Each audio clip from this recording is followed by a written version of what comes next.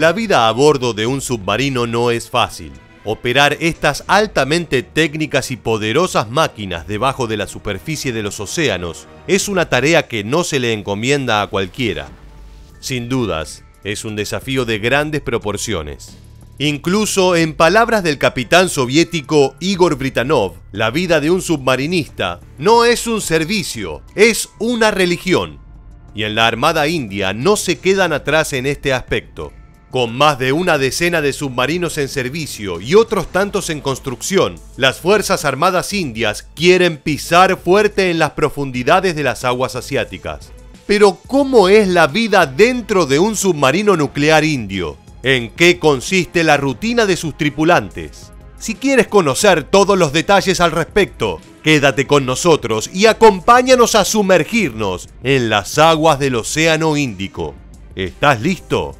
Pues entonces toma aire y cierra las escotillas, porque comenzamos.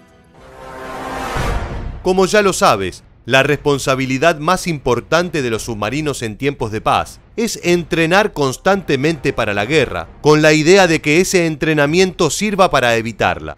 En ese sentido, la flota india cuenta con plataformas altamente sofisticadas y tecnológicas con sistemas de armamento y navegación de avanzada y demás equipamiento que hacen que el resto de las fuerzas de la región, por lo menos, le echen un ojo.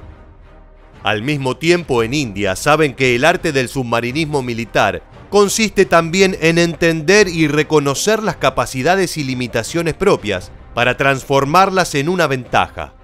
Y para ello es que sus tripulantes se preparan rigurosamente durante varios años. Sin embargo, antes de zambullirnos en la rutina diaria de estos valientes marineros indios, exploremos brevemente la flota de submarinos nucleares de la que dispone India. Actualmente posee dos ejemplares de esta variante, el INS Chakra de ataque y el INS Arihant balístico. No obstante, vale la pena mencionar que tiene uno más en periodo de pruebas, el INS Arigat, y otros dos más en construcción. Estos últimos tres, todos balísticos. Sin contar una planificación a largo plazo que incluye 10 submarinos más de propulsión nuclear. Está claro que cuando las autoridades navales indias afirman estar vigilando la actividad de sus pares chinos, saben muy bien en lo que se están metiendo.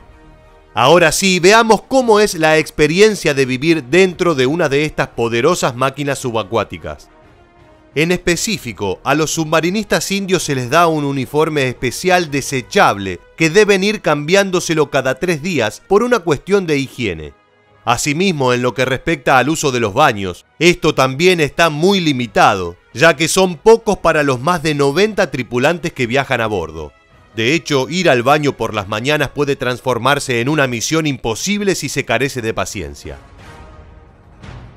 Por suerte en los submarinos nucleares, el suministro de agua consumible es mucho más amplio que en los convencionales, así que puede disponerse de unos minutos más para las necesidades básicas. De todas maneras, siempre se prioriza su uso para beber o cocinar. Y si bien se puede potabilizar agua de mar dentro de un submarino, esto es algo que se reserva como último recurso, en lo que sí se asemeja a cualquier otro submarino es que al no haber luz natural es imposible saber si es de día o si es de noche. Lógicamente a raíz de ello, la vida se divide según lo que digan las manecillas o los dígitos de un reloj.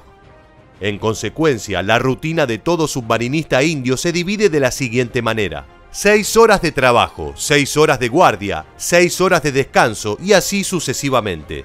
Es decir, días de 18 horas. De esta manera, en todo momento, al menos un tercio de los marineros está atento a lo que pueda llegar a ocurrir. Y aunque pueda parecer algo contradictorio, las seis horas de descanso raramente se utilizan todas para dormir.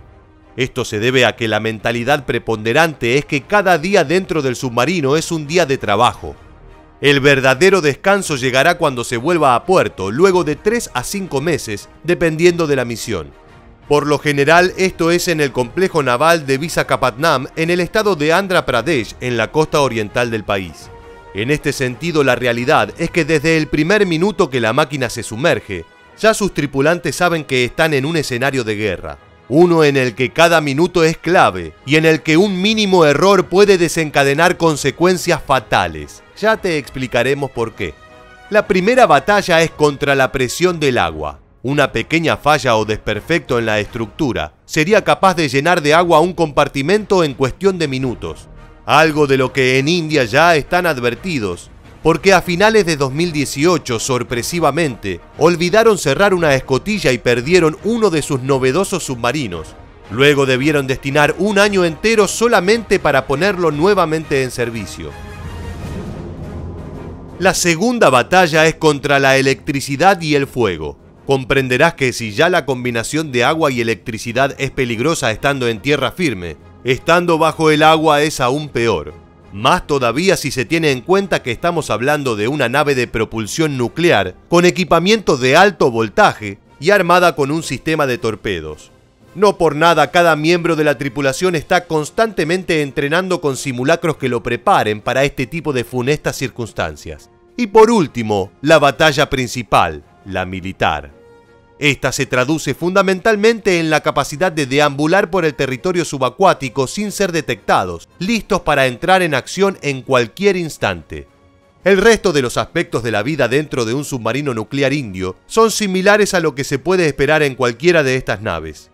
La privacidad prácticamente deja de existir, ya que los espacios tan reducidos hacen que sea imposible. De hecho, en algunas zonas no se puede caminar erguido y hay que agacharse un poco para poder pasar y esto sin mencionar la estrechez de las camas. En general, en lo que tiene que ver con estas máquinas pensadas para la guerra, la mayor parte del espacio prioriza los equipos y no tanto el factor humano. En el caso de los submarinos no es la excepción, con todas sus maquinarias, baterías, armamento, tuberías, cableado y demás. Algo parecido sucede con el espacio destinado para comer dos cocineros se las deben ingeniar día tras día para poder alimentar de la mejor manera posible a toda la tripulación. Y esto teniendo en cuenta la poca extensión de la cocina y del comedor, ya es una misión que precisa de mucho ingenio y pragmatismo. Como podrás apreciar, vivir dentro de un submarino de este estilo durante varios meses no es para cualquiera. Requiere de un acondicionamiento físico y mental muy importante, similar en alguna medida al de los astronautas. Y esto porque enseguida se pierde la noción del tiempo. Se pasan muchos días sin respirar aire fresco, sin ver la luz del sol, sin estar con la familia.